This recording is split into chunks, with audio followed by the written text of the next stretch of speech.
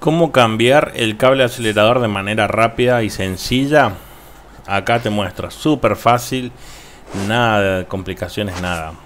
Bueno, ahí está el carburador, se ve, tiene el cable, el cable pasa por abajo del tanque y termina en la maneta del acelerador básicamente. Así que con eso ningún problema. Y lo ideal es que te compres el cable o uno igual o el original o te compras el que viene solamente eh, lo que sería el acero y una, una, punta roscable, digamos. Ahora a continuación te voy a mostrar cómo, cómo es el cable que te estoy diciendo y bueno, termina ahí. El problema que tiene este cable es que viene largo y lo vas a tener que cortar y si le cortas mal se queda despelechada la punta.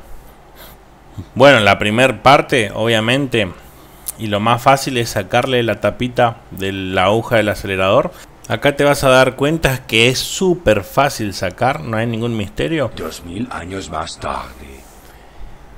Y bueno, una vez que sale, te das cuenta, mirás, y ahí se ve la puntita que ya viene incluida en el cable. Así que con eso no hay problema. Buscarle la vuelta, lo pones y ya está.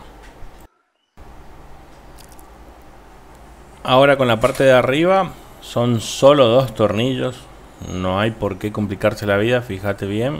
Uno donde entra el cable y el otro en la otra punta. Una vez que lo saques, pum, sale súper fácil. Y en este caso, con solo levantar la parte de arriba, una vez que sacas los tornillos, listo. Y ahí te vas a encontrar con la otra punta que te decía, que ahora obviamente le puse el cable original y quedó bien. Pero antes tenía que hacer con la rosquita esta que mostré en la imagen anterior y nada más. El problema es cortar, es lo único complicado. Si no, si consigues un cable parecido, igual sirve. Así que ningún problema con eso. Y además, fíjate bien en la imagen que el cable termina ahí, está soldado.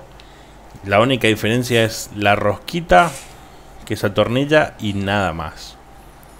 Así que una vez que lo cambies, procede a armarlo otra vez Listo.